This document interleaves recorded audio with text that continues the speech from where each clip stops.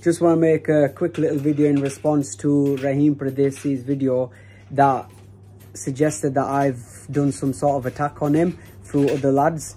I just want to say that this is firstly all bullshit and it's nothing that I would do to begin with. And what benefit would I get out of attacking this guy? You know what I mean? I have no association with this brother. And also, this guy lives in Pakistan and I'm here in the UK. Do I look like some fucking don to you guys? Like some overseas don who will be like, Rahim Pardesi ki maro. Like, what, what, what? I don't understand. It makes no sense, guys.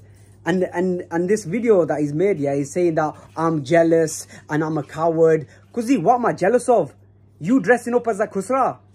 You dressing up as like a transsexual and just like making videos. Am I jealous of that? Brother, no no offense to any transsexuals out there, yeah? But I don't have no issues with that, yeah? but it just doesn't make any sense. And then for you to call me a coward and say that, oh yeah, if you wanted to fight, just, you know, come to me. Brother, I don't know. I don't know you in, on that level, you know what I mean? But don't make me look like I'm some sort of pussy who's uh, hiding behind doors and telling people to go attack people, you know what I mean? That's not in my nature. I face my problems face to face. And that's what you should have done. You should have come to the shop and spoken to me instead of going on social media and saying all this bullshit. That's not true.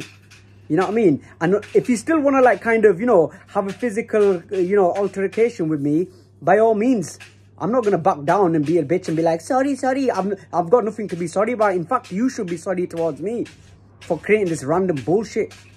You know what I mean? And let me tell you this, yeah? If you want a physical altercation, yeah, we can do it. But we can do it in a professional setting. So you just let me know. Kusra.